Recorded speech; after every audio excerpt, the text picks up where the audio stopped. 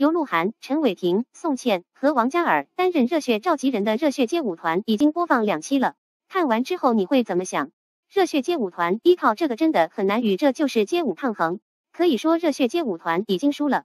两期之后，我们看到最多的就是几位队长进行奔跑吧，却很少看到纯正的街舞的东西。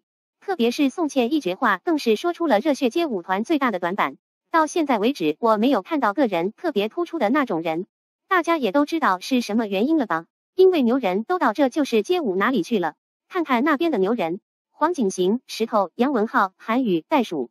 这就是街舞，才是真正的街舞牛人聚集地。再加上就是节目赛制问题，昨晚四个召集人鹿晗、陈伟霆、王嘉尔和宋茜进入热血之城选人，结果是什么？最后时候有的选手根本就没有表演，就无奈被淘汰，不能不说是一个最大的失败。当然，节目中街舞表演就更少了，七十分钟的节目能有二十分钟就不错了。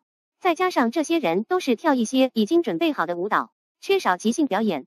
为了能够和这就是街舞抗衡，热血街舞团可以说也是用尽了心思，请来其他明星加盟，像 Angelababy、邓超等。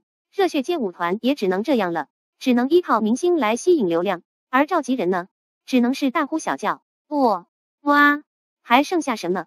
这几位导师缺少专业性的点评，还有就是热血街舞团剧本性太重了，像那个杨凯之前跳的像个路人，但是在和别人 battle 的时候跳的却很炸。